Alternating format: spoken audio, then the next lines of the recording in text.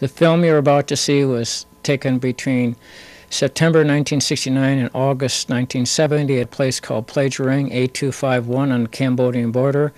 It was a Special Forces A team where I served during the year I was in Vietnam. It was 40 kilometers straight west of Pleiku and 10 kilometers straight east of the line dividing Cambodia and Vietnam. The film was taken by me thinking that maybe it would be the last thing my parents would ever have to remember me by. The scenes are sort of amateurish and shot a little too fast at times, but it opens up with us being rocketed uh, by the other side, and we're returning fire here, and uh, what you see is taking place outside uh, the camp. And we would return fire with uh, that's an 81 millimeter mortar, and we would alternate uh, rounds of Hotel Echo or high explosive with Willie Pete or Willie White Phosphorus. That's a Hotel Echo round. That's a Willie Pete round. And it was pretty loud. I remember standing behind it and getting these films uh, about blew my eardrums out. And you'll see the rounds impacting out in the distance. And uh, that would be a white phosphorus round impacting out there. And we got rocketed quite frequently and you never knew exactly where it was coming from. So we would just try to blanket the area as well as we could um, with our mortars and the single howitzer that we had in camp. And after a while, it kind of got pretty smoky out there, and that is the 105 howitzer that we had with the Montagnard gun crew working it. And you'll see some more rounds going off here. Um, and the life in camp was exposed to this from time to time. It was just part of being out there.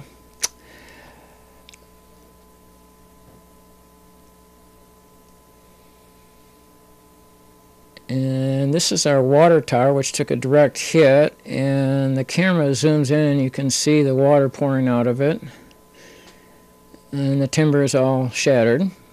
And it was a pretty small place, and once they got the range, uh, it was kind of sticky. This was uh, an enemy uh, weapon that uh, was taken off of somebody, and these were the cooks in camp that were caught reading our charts, and they were sent to uh, Pleiku as prisoners. And this was an attack at night outside the wires, and you'll see some rounds, uh, some small weapons fire here with tracers. I think every fifth round had a tracer in it. And uh, I remember this particular episode. There was an attack on a refugee camp outside the village. And this is our return fire. And uh, we wound up uh, in this night engagement. went on for some time, I remember. And that's the moment of death for one of the enemy soldiers. I remember that. And this was his weapon, which we found the next day alongside of him. And that was uh, an AK 47, I believe, a receiver group.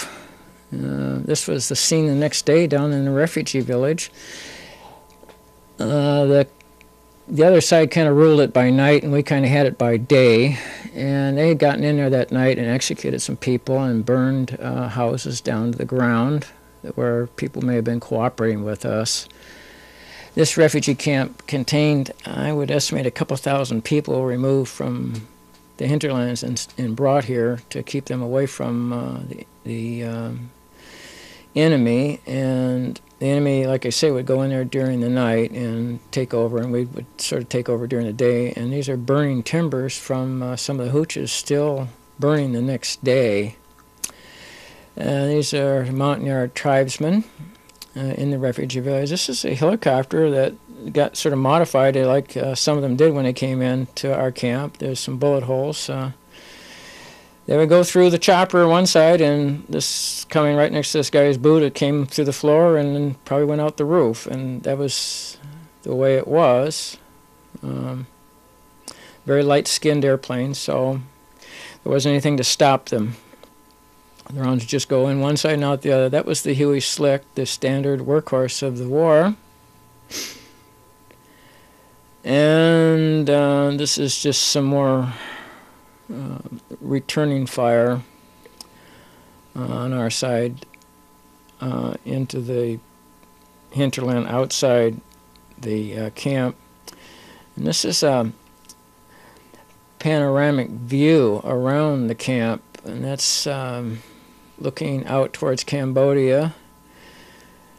And that's the road back to Pleiku. It was 40 kilometers long back to Pleiku as a crow flies. The road was longer. That's looking up to the northwest by Laos, the tri-border area, and again looking out towards Cambodia now. Very remote place. Uh, we had 12 Americans there and uh, maybe 300 Montagnard tribesmen who were armed, and there were maybe 700 dependents. Sometimes there would only be five Americans there, and there was nothing between you and Play Pleiku. Not a single American, not a single South Vietnamese. It was all free fire zone. So it was pretty lonely. This was a direct rocket hit inside the inner perimeter into one of the uh, hooches of where American was, and he happened to be at the time in the team house eating, or he would have been certainly killed by this. And we had sandbags over the roof, but it was there more for psychological protection. Anything else, it didn't stop anything. This was a um, Caribou, a twin radial engine airplane, uh, the smallest one that uh, the military had, and they would come in um, frequently to resupply us with uh, diesel fuel and some of the heavier loads that came in that wouldn't come in on a chopper. And when uh, a fixed wing airplane would come out like that onto the runway and land, uh, normally speaking, up above there would be a smaller airplane of uh, somebody uh, that was armed that would uh, guard the runway and keep the other team off the off the big transport plane while it was down on the ground.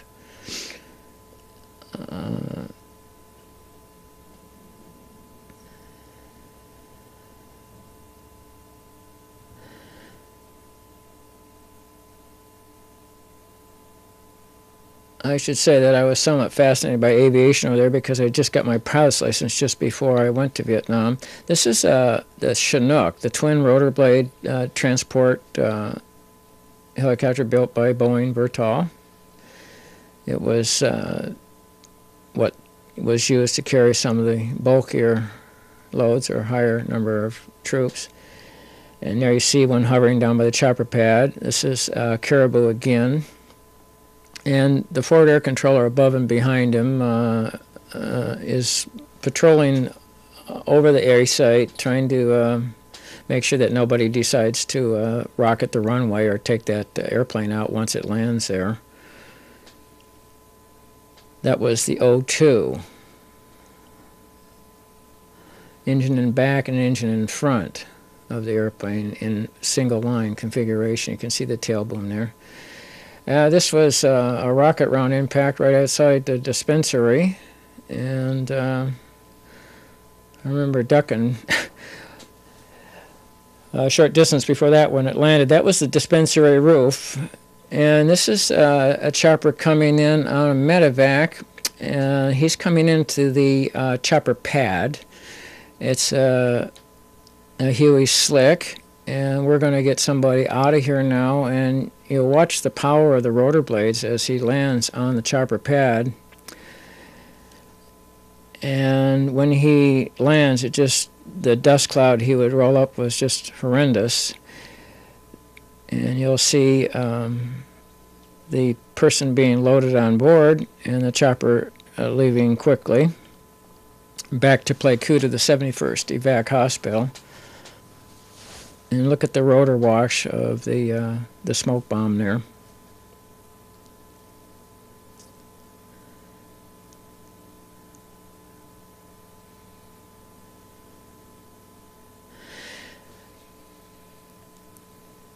He doesn't stay long, and you'll notice that as he leaves the chopper pad, he actually loses altitude. And this was typical over in Vietnam. You like the chopper pad up high so that the uh, chopper could actually gain speed as it as it as it dropped down through the air. So it would have a good velocity once it got out over the wires and moving fast to be uh, a target a shorter time.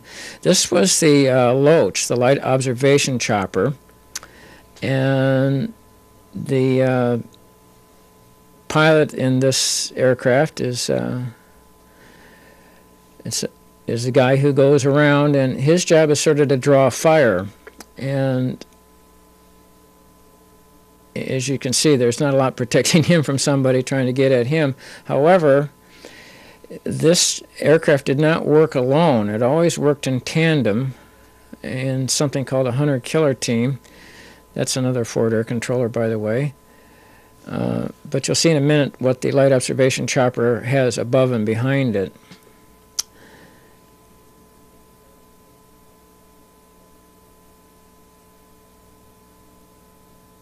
That was our runway. It was 3,000 feet long. It was a steel tarmac. This was the Ranger. This was the chopper we didn't like seeing because it was usually high military brass, but uh, they'd come out and inspect us. But we always hoped that maybe they'd get shot at and not come out too often, which uh, did actually happen from time to time, fortunately. So we got left alone by the higher higher out there pretty much. This is a view from outside the wires of uh, a scene where the um, O2 I mentioned previously, the guy uh, crashed out here. I remember having come out here and place up his body.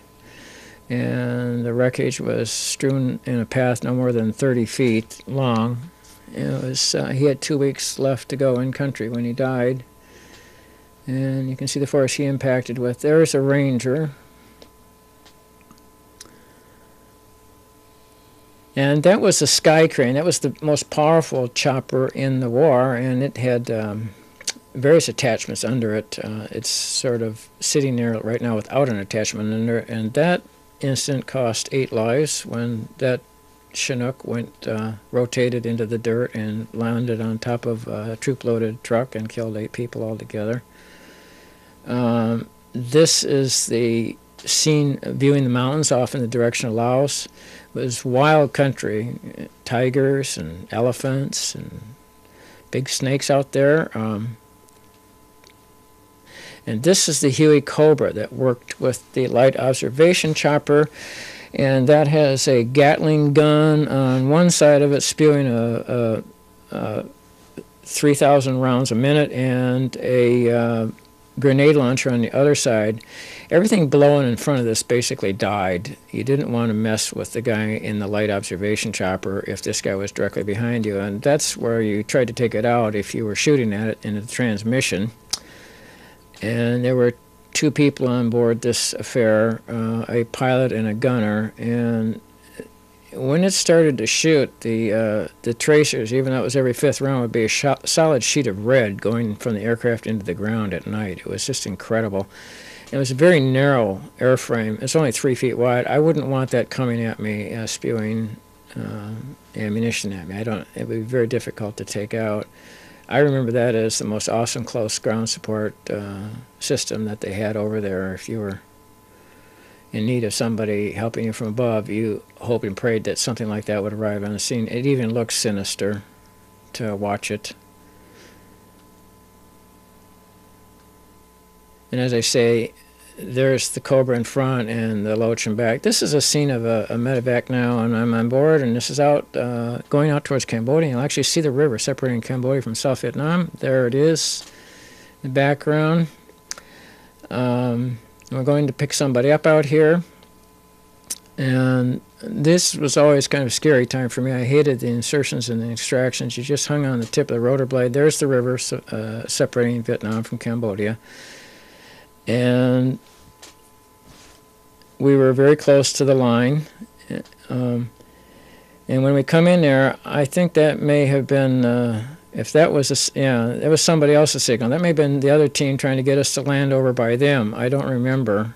This gets kind of discombobulated here. We landed, we didn't stay very long, and there's the river. And we landed uh, in this clearing and picked this guy up. And I just remember waiting and waiting and waiting for the guy to build up, build up speed on the collective and get out of there uh, before uh, any shooting started and that's the way insertions and extractions were over there. You never, I always felt more comfortable down in the weeds crawling around than I did going in in a chopper and getting out uh, of it uh, after standing or hovering above the triple canopy 75 feet off the ground, a sitting duck for anybody in the tree line. And there we are getting out of there. And you'll see the flight back to Plei Djereng now. And there's Plei Djereng, and the reason it's all brown is I'm sure it was covered with Agent Orange uh, and Malathion. These were two big 175s from the 4th Infantry. They were stationed there for about a month, huge guns, and they would fire, I think I was told it was $800 a round, and they would fire uh, at nothing. Just it's called harassment and interdiction fire at $800 a pop. There's a round going off impacting. And while we were there, it was a little quieter, but then they left, and we were left with our single 105 pop gun, and here it is, and we're under attack again. And it was quiet when the big guns were there, but they were only there a month, and then they're gone, and then we're back on our own again. And the 105 crew was, they're okay, uh, I guess, but when we were out on patrol, we are usually out of their range, and uh, they weren't trained uh, in the American artillery. Sometimes you just, uh, I guess you just gave them your coordinates, and uh, the rounds would maybe land haphazardly around you. You didn't worry about it. Um, and this is just more artillery fire outside of uh, the encampment into wherever we were thought we were getting hit from. It was always difficult to figure out where you were getting hit from. It was very difficult.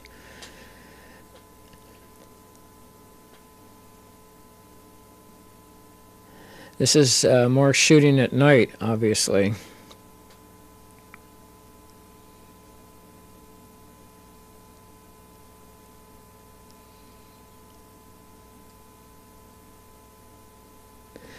These scenes were the most difficult for me to get in the entire film. I took the camera out on patrol for two weeks once, and it was very difficult because you're carrying your gun, you're carrying your ammo, you're carrying your food. We did not, once we got inserted, get resupplied because we were tiny in size and didn't want to give our position away. So you carried everything on your back. I got treated pretty good out there. I used to run the patrols with one other American. There were two of us out there and 15 people, only one of whom spoke pidgin English. And basically, they took pretty good care of you. They knew that any air or artillery support had to come through you, and so you were like the great white hunter out there. Basically, they dug a hole for you at night and um, built a hooch cover over you or whatever. And I remember that when I was out on patrol, what I remember most about it is at the end of two weeks, you couldn't stand the smell of yourself, and you didn't have any trouble keeping five feet away, which was called uh, uh, separation discipline. You didn't want to all step into one spot and get blown away, so you, you didn't have any trouble keeping away from people because everybody stank so bad after two weeks without a bath. And during the dry monsoon, basically, if you wanted to find Charlie, you'd usually find him somewhere near the water. We were all looking for water. Um, and we ate rice. That's me. I was 27 years old. And we tried to look like the Montagnards. The trouble is, we were a little taller than them, but we tried to look like them. You didn't want to look like an American. You didn't want to look like any different than the other people if you could avoid it uh, and be a target that somebody else would be trying to aim in on. And I'm setting up the Prick 25 radio here for a call-in for the night position. We'd always try to tell them where we were at night.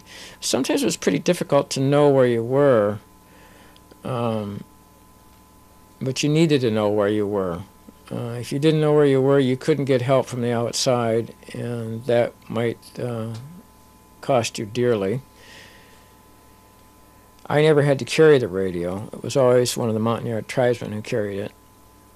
And there I am trying to figure out where we are, and I'm back triangulating using the compass. And you wanted to know where you were, like I say. Um, sometimes the terrain blended in pretty good, and you could just barely make out a hill, and I'm back triangulating there.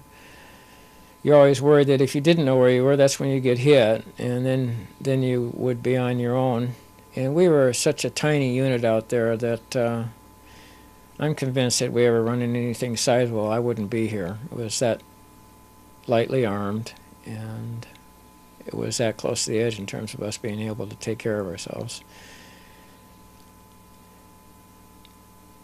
Life uh, with the 15 Montagnards that we were with, we called them yards, was uh, sometimes uh, amusing. They were they were good soldiers, basically And I think the reason I'm alive is because we were with the Montagnards. They befriended the French when they came, and they befriended the Americans when they came, and they were natural enemies of the Vietnamese, and vice versa. Matter of fact, as recently as 100 years ago, the Vietnamese used to hunt Montagnards for sport. So there was no love lost between these hill people and the people down in the lowlands, but they always seemed to um, favor an invader, which we were. These people we came across on patrol, we had no choice. We had to we had to take them back to Plei Djereng. We, we sent them out with a couple people detached from the patrol and took them back at gunpoint where they would give away our position. This was an NVA canteen that we found out there. And this was the, a bunker site that we were getting rocketed from. And we found it and decided that we wanted to booby trap it and wait in hopes that they would come to use it again. And there's a swath that they cut through the trees, and guess what comes up in the background through the telephoto lens? There it is, Plei Djereng, sitting on top of the hill. And they had rocketed us from the site, and that's a spent casing on a Chinese communist uh, rocket round. That was a bunker. So we set up a booby trap, and again, a spent casing on a rocket round that I'm holding there. It was nerve wracking, and I uh, used to smoke cigars out there. The only time I ever smoked anything in my life. And there's a Claymore mine. It comes into view here that we set up, and there it is right there. It's difficult to see in the weeds, but then uh, leading back to it, we had a trip. Uh, we had a wired electrical contact, and the guy sat there awake all night holding it in his hand. There it is. And he would have set it off if somebody had come down that trail, but nobody did. It was to no avail. They didn't use the site that night. We booby trapped it when we left, and that was it. And there I am eating whatever I had to eat. Um, you tried to eat what they ate, and they didn't have any trouble smelling like they smelled. They ate dried minnows, and I remember that's me eating dried minnows and rice. And dried minnows were not. I, think I had enough dried minnows at the end of the year that I didn't want to ever eat any more dried minnows. I carried a um, Car 15. It was a sawed-off M16. You cleaned it every day like your life depended on it. You used to take it apart every single day and put the uh, rod down it and clean it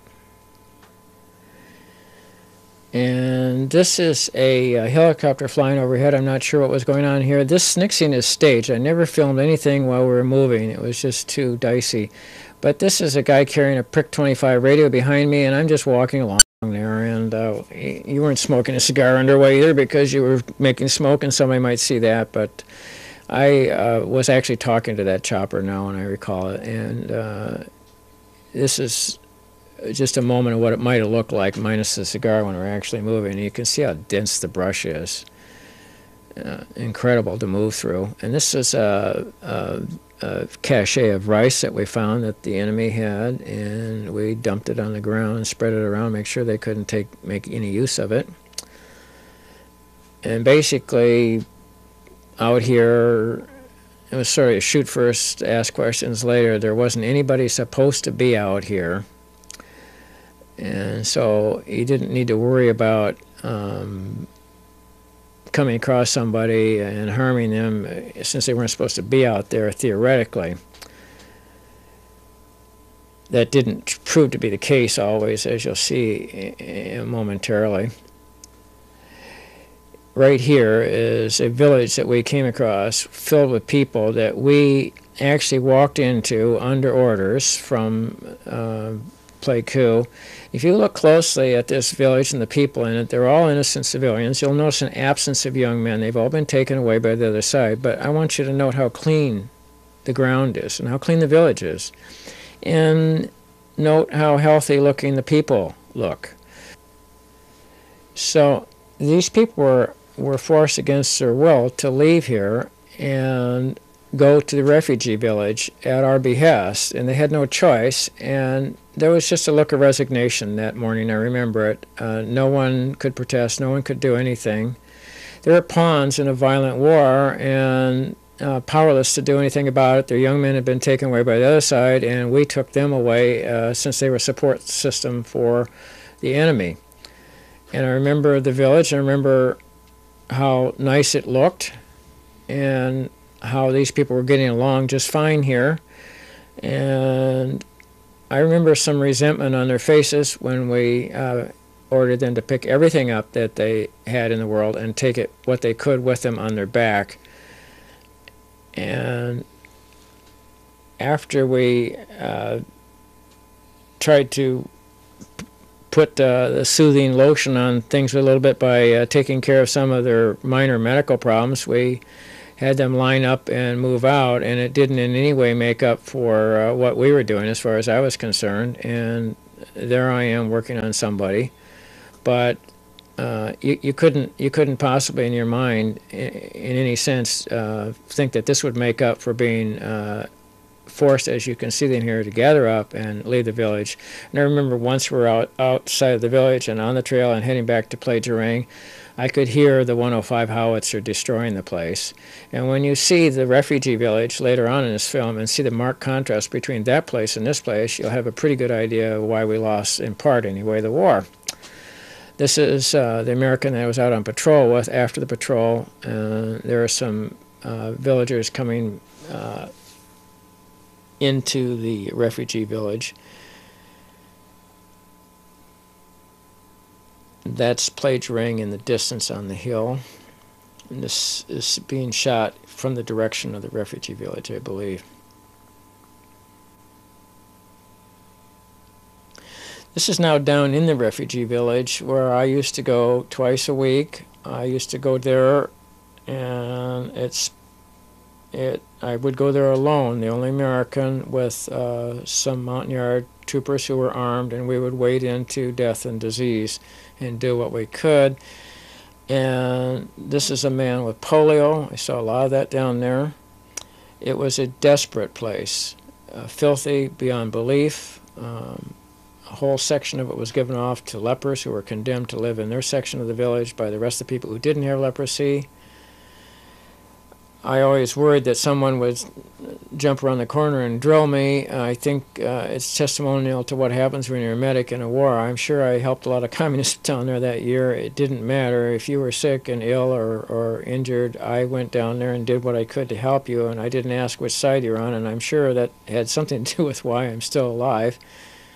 Um, since it was my memory that um, the refugee village was seldom visited by any of the other people on the A team, the Americans. It was just mostly the medics who went down there, and we had to go down there alone. And, and it was literally uh, another mile outside the wires of Plei Djereng, closer to the border. And you just you just were resigned when you did it. You just went down there and played the role of the humanitarian, and uh, no one ever harmed me doing it the poverty there was just, it was incredible. Uh, if you look at the bellies of a lot of the little children, you'll see them swollen. That's kwashiorkor, protein deficiency. People died here. They died here in droves. They died literally daily of malaria, uh, starvation, and, and what have you. We would bring uh, food to the village uh, when we could get it, but these people were basically caged here, taken from the sea, as you will, in the theory that we would keep them away from the guerrillas, as it were. Um, my memory of it is the strategy did not work real well. Uh, some of the animals that they had down there, some chickens.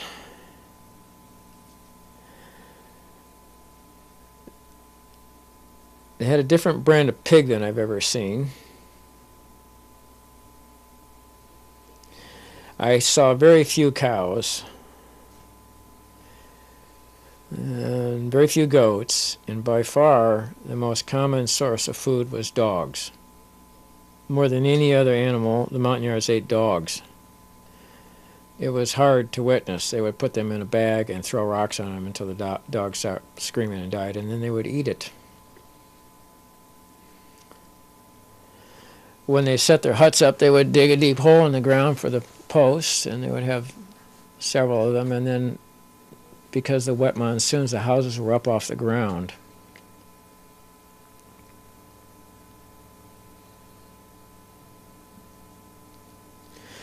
You had to try to be part of them and, and get their confidence, and that meant drinking their rice wine, which which I did. And you can see some people that are four sheets to the wind here. They're having a party, and they insisted that I party with them. So when you're in the special forces, you were instructed to be uh, as much like the indigenous people as you could. And I remember I didn't particularly like the rice wine; it had a lot of seeds in it, and it, and uh, these are very primitive people but uh, they did get me to sit down, and, uh, and there I am. I'm having some wine, and you'd take a sip of it, and you'd have to spit the seeds and the dirt out.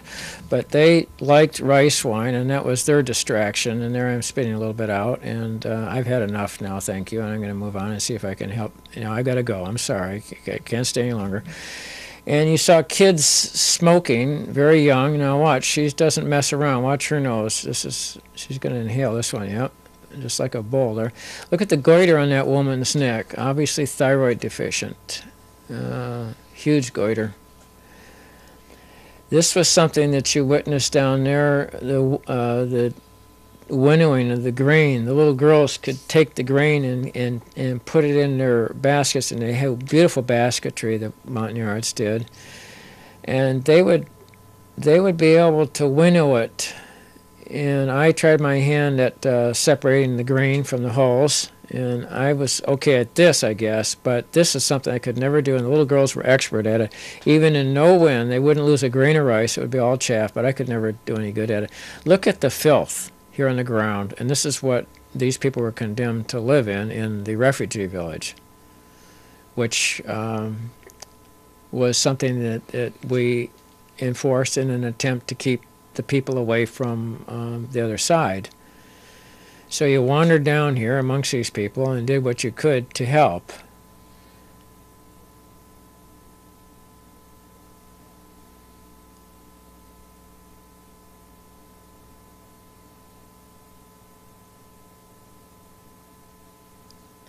Frequently, the little children would have very high fevers, and since I wasn't certain what was going on, I would give them a shot of chloroquine in one hip and a shot of penicillin in the neck in the other hip. And by God, a, a whole heck of a lot of them lived uh, somehow. Either had pneumonia or had malaria. I didn't know which.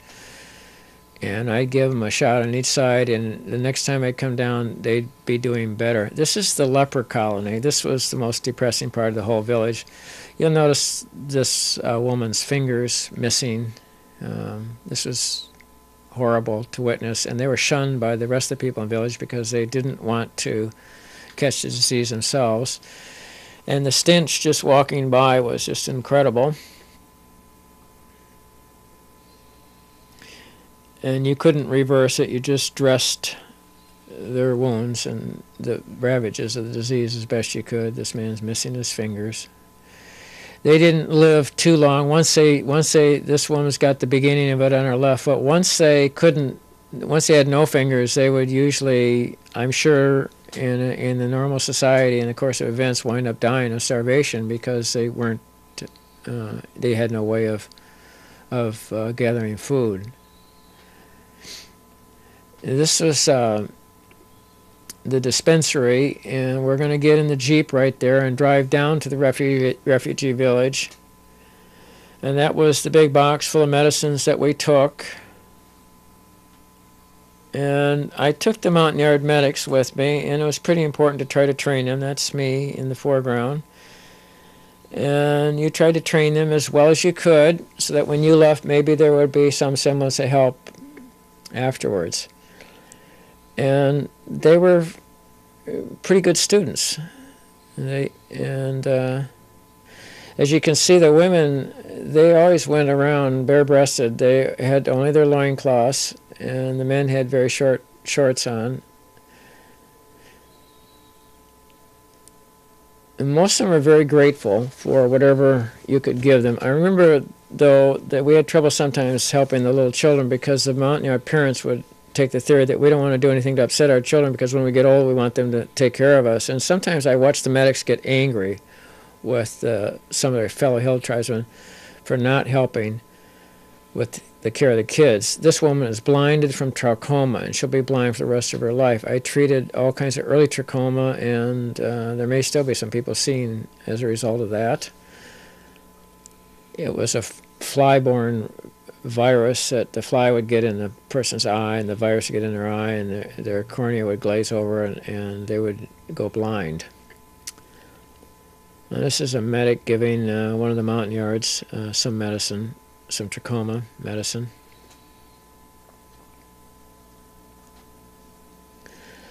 Uh, their toys were pretty rudimentary. I don't think life was that much fun for a kid in that camp.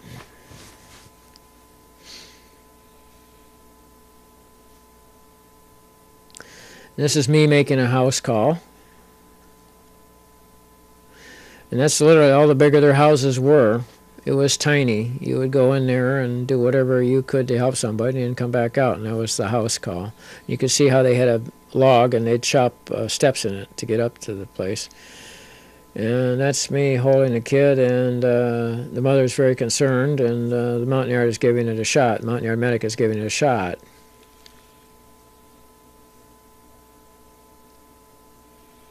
Saw a lot of impetigo there, staphylococcal skin disease. Saw some pretty good cases of fungus. Now, they would catch fish and hang them out to dry. And that didn't help the aroma of the place either.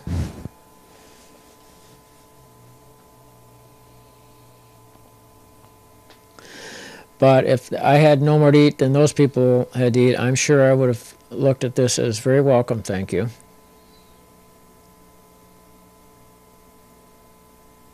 And that's a case of trachoma. And this was a dispensary that we built down there. It didn't stay very long before it was blown up by the other side. But the chief engineer here was very proud of his work.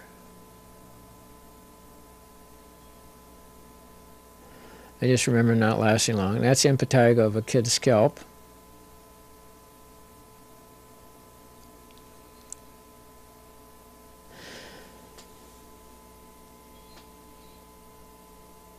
Uh, this is some sort of religious ceremony that they had. I'm not sure what that connotated.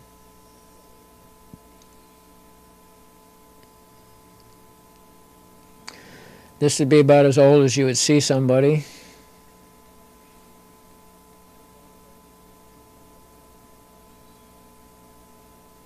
And this man has polio, and that's why his leg looks like that.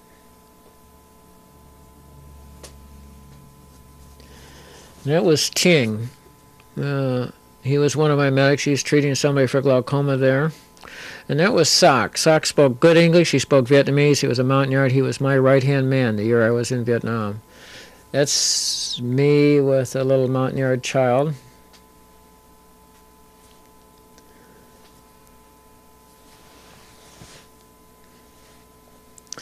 Another one of the medics.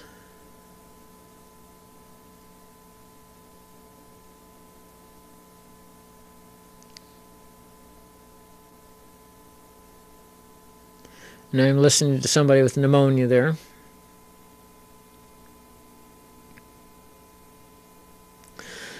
And that's Ting. He's trying on my Green Beret. I think he liked it. His brother was killed one day out on the road with me coming back from Pleiku. That's Sock. Again, he was the, the key critical man the year I was there. This guy spoke good English. He spoke good Vietnamese, and I couldn't have done anything there that year without him, since I spoke neither language. And that's me playing with a child again.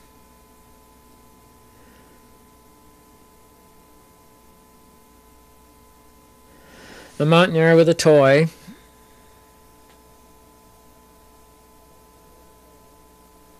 The toys were very simple by American children's standards. These were some prisoners of war that we gathered up outside the camp, and they're going back to Pleiku. And this was the uh, skyhook uh, chopper that came and picked me up when I went on R&R. And the next view is pretty striking contrast.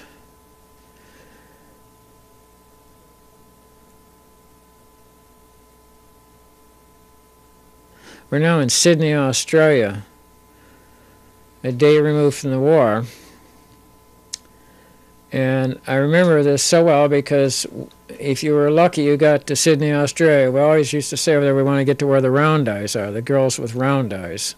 Well, you didn't normally get there unless you were married, and I only got there because uh, the company clerk stole my uh, R&R, and my father complained to the U.S. Senator from the state of Michigan, and next thing I knew, I was whisked away to Australia directly on orders from the Pentagon. That uh, created a little bit of furor back in Pleiku when I returned, but uh, I only had a month left in the Army, so it wasn't that big a deal, for me anyway. Uh, this is out. This is in Sydney Harbor, and I spent four months with the Navy SEALs uh, on temporary duty with them uh, out of Fort Bragg, North Carolina, before going to Vietnam in an underwater demolition training, and so I was pretty proficient in scuba diving. I wanted to do a little more diving down there. And I remember the Australian guys that went out with me that day, the guides. They were very nice, and they uh, they were very they seemed uh, concerned about me. I, I had that sense. They kept saying, "I just, I just hope you get home okay," and uh, that was in June of 1970, and it would have been during their winter, so to speak. Needless to say, as you can see, it wasn't real cold, but uh, we still had wetsuits on. I would have loved to have seen the barrier reef back then, but I didn't have any money, so that was it. I stayed in Sydney.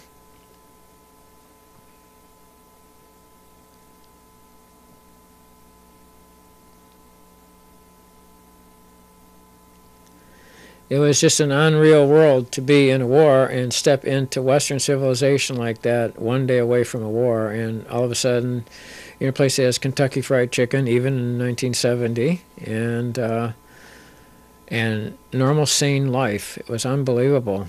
The contrast was just not to be believed.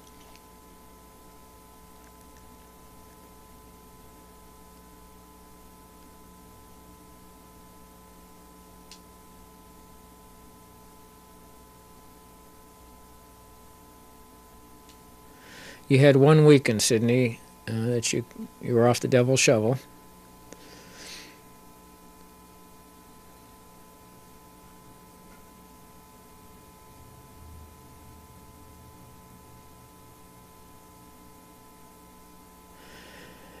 And here we are back in, in Sydney, and uh, we're about to see the real reason I wanted to go to Sydney, except first we need to go to the Australian War Memorial. I remember this. This was touching. It was a uh, a nude soldier draped on a sword, and all the great battles that uh, that Australia has been in uh, over the years are there. And there's the soldier, and it was just touching to see it. But this is what I really wanted to see, of course, was girls, girls, girls, and there were plenty of them, and they all were wearing minis, and it was just awesome.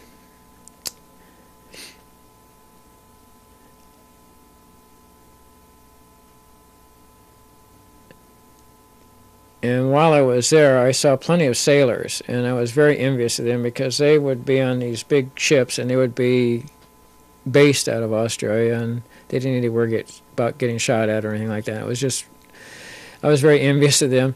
And you had your hippie crowd uh, there too, and there they are. And the double decker bus is reminiscent of Britain. And this is my favorite set of legs in all of Sydney, Australia. I remember this. And that's the contrast, folks. And a day later, you're right back in the war on the Cambodian border, down in the refugee village, and nothing in between. And it was an incredible culture shock. I would say that um, the only parallel with that was probably coming home equally.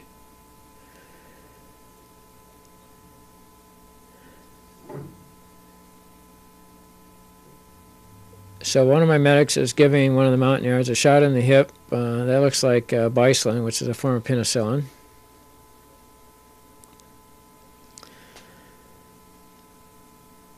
And you can see the impetigo on this woman's neck.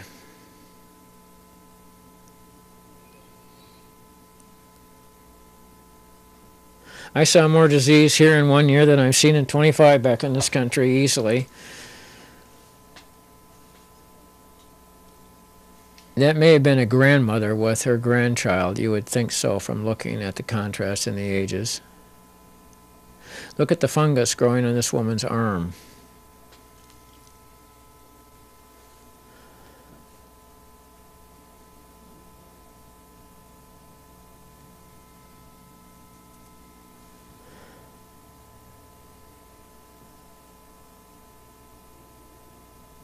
That's the dispensary again while it was still standing. And here they are uh, working on it, building the walls, splitting the reeds for it. That adze, you saw everybody had an adze that was a Montagnard tribesman. And they, like I said, they were beautiful weavers of baskets and and their whole building structure was made out of material like this.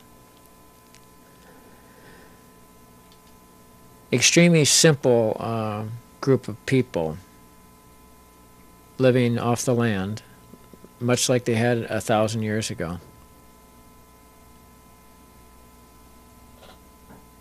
But in this setting, living in desperate poverty like they wouldn't normally be living in, I'm convinced. And here's an abscess on somebody's buttock, and uh, we're putting some medicine on it.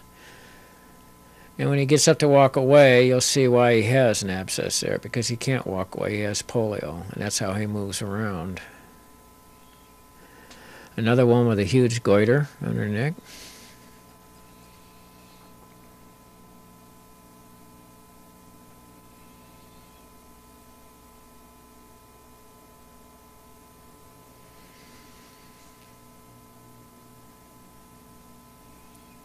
I don't believe in more modern times when I've watched uh, footage of third world countries in poverty and desperation that I've ever seen anything as desperate as I saw in this refugee village, day in, day out.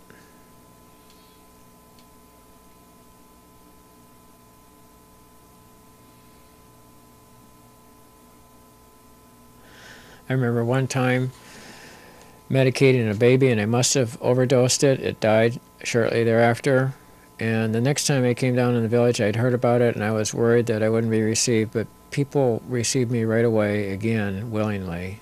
Uh, it was obvious that what we were doing there was helping for the most part in large measure. I think this was a prostitute, I'm not certain. She had a big cigar, I remember that, and she wanted me to smoke it, so I smoked it with her.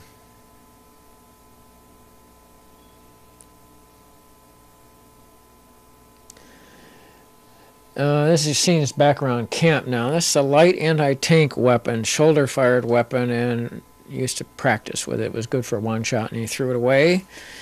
And you'll see it go off here in a second and see what it can do. It goes into an old wrecked truck, and that's the kind of uh, impact it has. You wouldn't want to be on the receiving end of that thing, obviously.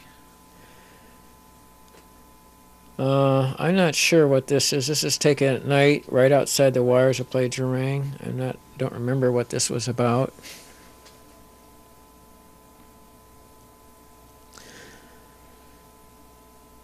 Uh, these scenes are now taken, this is inside the outer perimeter where the Montagnard strikers, we would call them, with their families, their dependents stayed. There were about 300 of them and maybe 700 dependents. There was about a 1,000 Montagnard tribesmen in the outer perimeter, and there were 12 Americans and some Vietnamese in the inner perimeter. The last girl down the hill was featured with me in the June 1970 Reader's Digest, and there she is. Our pictures were together in the June 1970 Reader's Digest when somebody came out and covered what I was doing down in the refugee camp, and the two of us appeared together in that issue. The Vietnamese look different than the Montagnards, and here's a couple of Vietnamese girls, beautiful girls, playing jacks.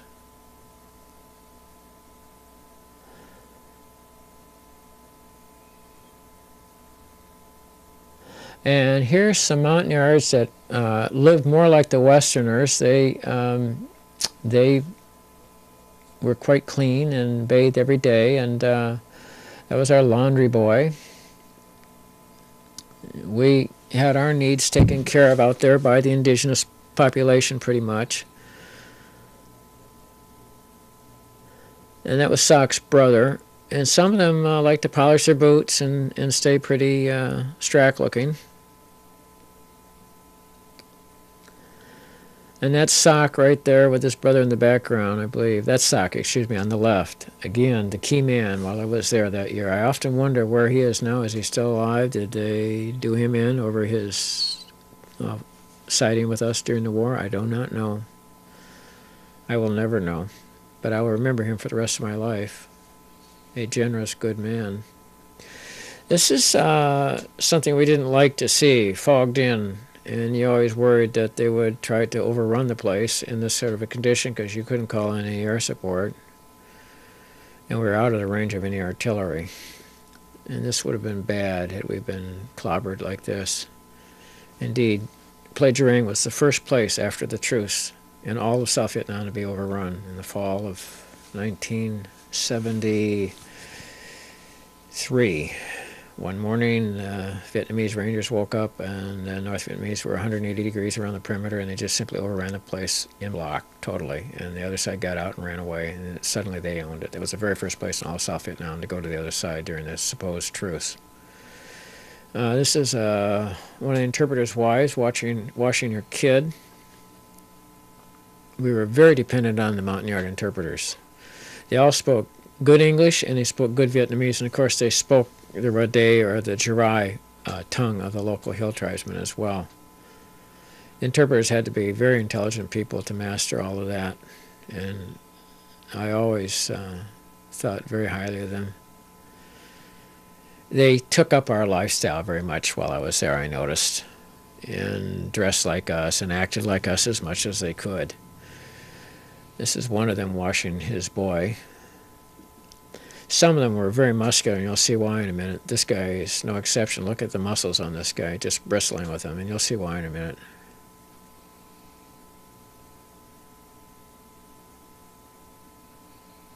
Life inside the wires was far cleaner than the life down below in the refugee camp, needless to say, and it was cleaner inside the inner perimeter where the Americans and the Vietnamese and the Montagnard interpreter stayed than it was in the out, inside the outer perimeter, which of course was outside the inner perimeter. The camp consisted of an outer perimeter and an inner perimeter. And our biggest worry there was the camp being taken over by some sort of an insurrection from within, basically. We thought we could handle the other team if they were coming at us from outside the wires, but you always were concerned about inside the wires, like when we caught our cooks jotting our positions down out on patrol at night inside the uh, kitchen. Uh, these are kids playing in a box um, that we had for them on camp. That was uh, our commo men, our two commo men playing with the kids. They used to play with the kids every night. Had a lot of fun with the kids every night. Usually these are interpreters' kids, hamming it up in front of the camera. This is inside the dispensary, poorly lit, and look at the growth on this person's ear. That was my junior medic. I was I was a senior medic by that time. When I arrived, I was the junior medic. By the time I left, I was a senior medic. Um, I think this is uh, some night scenes now. Uh, yeah, shooting the recoilless rifle mounted on permanently on the jeep, just practice rounds.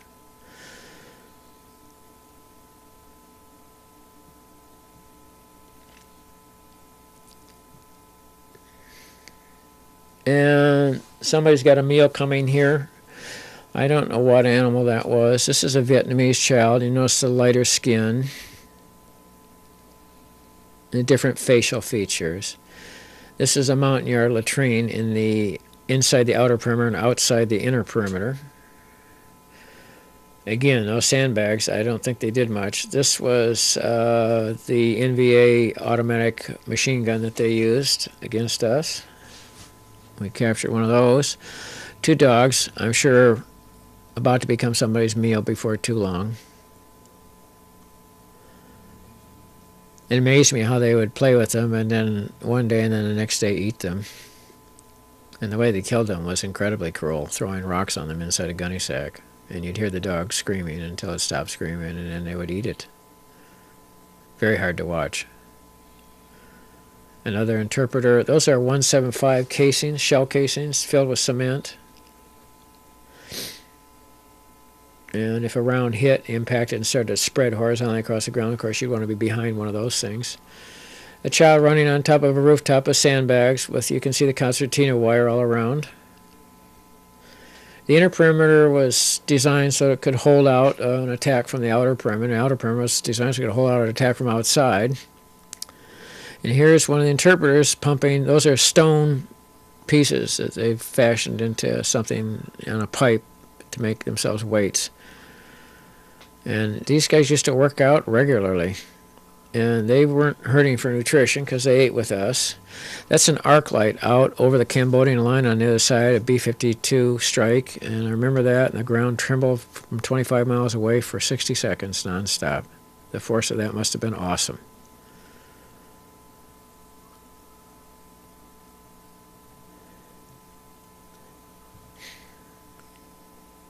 Scenes inside the inner perimeter again, I believe.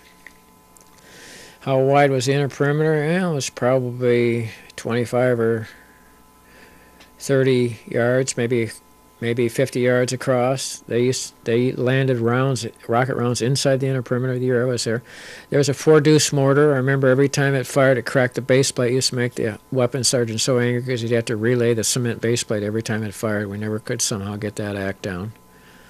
That was the single heaviest mortar in camp. These are the diesel uh, fuel bladders. They would be heli-lifted out there for the generators.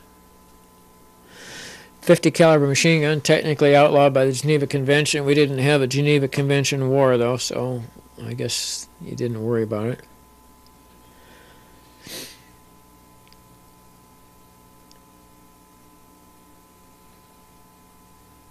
And that was a shoulder held bazooka. The M60 machine gun in front and a 45 caliber machine gun in back, those are our weapons. The World War II one was in back, the Vietnam one was in front. That was the team sergeant. 60 millimeter mortar, the most numerous mortar in camp. We carried one out on patrol without the base plate. I think that was a Vietnamese prostitute. I remember there was a consternation when they were allowed to have her, and of course we didn't. We had to be on our strict behavior out there. I remember one man out there consorting with a Montagnard woman. He was immediately tossed off site, an American, for doing it.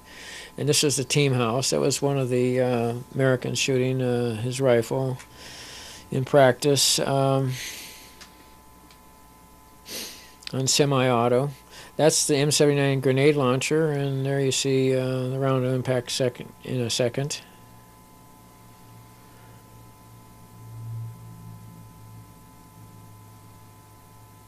It's like a hand grenade, except it went out.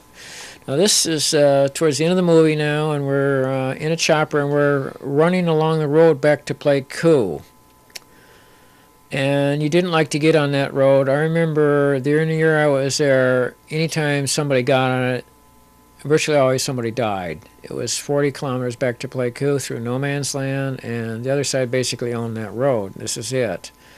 And when somebody came out on it, they came out uh, loaded for bear, and you usually ran into it. And the way the chopper pilots used to like to go down it was three feet off the deck, full bore, be a difficult target, or they'd like to be above 3,000 feet out of small arms fire. If you were inspecting something, you would go, uh, inspecting the road, you'd be going along right down low on the deck, fast. And it was really something to fly in these things at that speed over the deck. Um, it was just reminiscent of the whole experience over there, life on the edge. And look how low we are. And we're do- going down this road, and you will see what we find here en route back to Pleiku. Um, they've blown a bridge over the river, and we have already replaced it, I guess, with a new bridge, but there's the river, and you can see now up ahead the, the bridge is blown out by the other side, and I think off to the left doesn't come into view, but there's another bridge in this place. And there was an M60 machine gun on each side of the Huey Slick with a door gunner on each side and two pilots and whoever was passenger. And there you are, three feet off the deck doing 120 knots. And that would be the co-pilot on the left and the pilot would sit on the right. That was the way it was configured in Vietnam and rotor wing aircraft. And now this is coming to the end of the film. And here's Plei Djereng coming up in the background, and you can see the Red Cross on the dispenser, and this is where I spent the 27th year of my life.